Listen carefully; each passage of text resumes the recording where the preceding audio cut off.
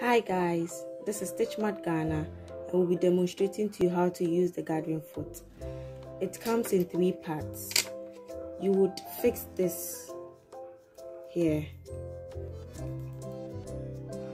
Then you would take the screw and fix it at the bigger hole. Then you screw it together.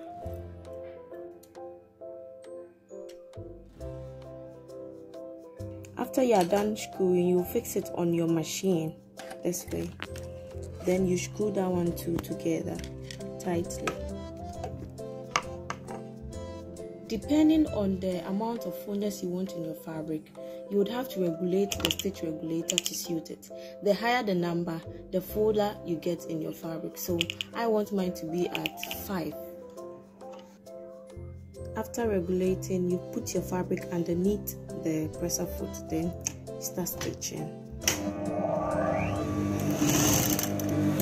So I am taking my fabric now, and it, as you can see, I'm really getting the fullness how I want